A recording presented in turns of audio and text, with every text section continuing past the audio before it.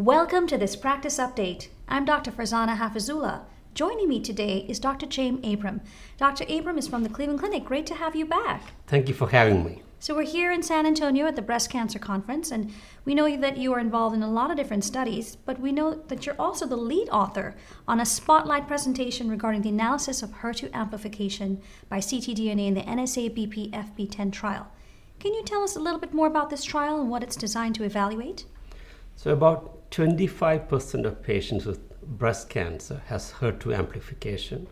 So, in metastatic setting, um, the first line treatment is trastuzumab, pertuzumab with docetaxel. And once they progress, uh, the next line treatment is uh, TDM1 um, based upon the Emilia data. So our trial look at patients who had trastuzumab and pertuzumab in metastatic or advanced setting. Once they progress, um, can can we treat them with TDM1 and neratinib. So neratinib is a tyrosine kinase inhibitor. Um, so it was a phase one study. Um, um, right, that's the way uh, we designed the study. Can we get more into more granular details, perhaps, about the design of the study and maybe some of the key findings to highlight for our viewership? So the design of the study is TDM1 plus neratinib in patients who had trastuzumab and pertuzumab plus uh, chemotherapy in the metastatic setting.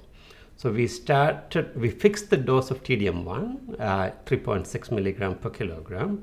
And then, as I said, it's a phase one, it's a dose escalation.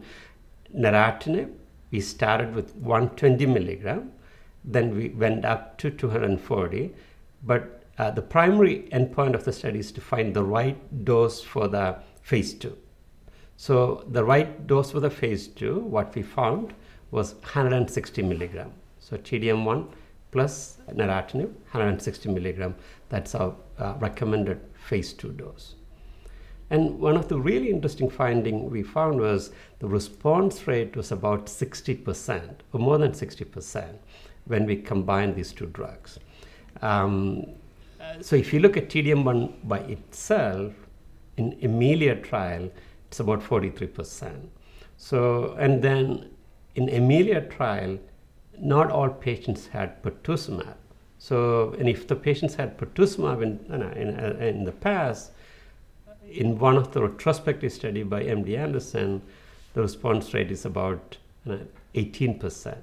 So our patients had pertuzumab and trastuzumab in metastatic setting, and we added uh, neratinib to TDM1, the response rate was pretty impressive, like 60%.